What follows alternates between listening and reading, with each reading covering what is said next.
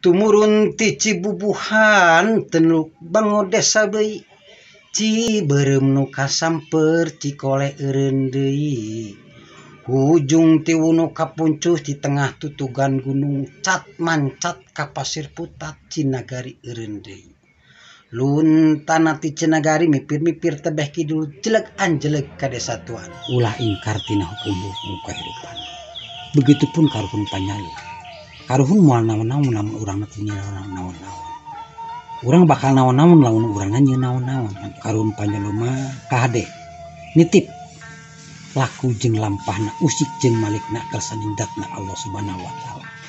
Jadi pesan ti yang panjaluma nu tadi teh papagon ulah dirumpak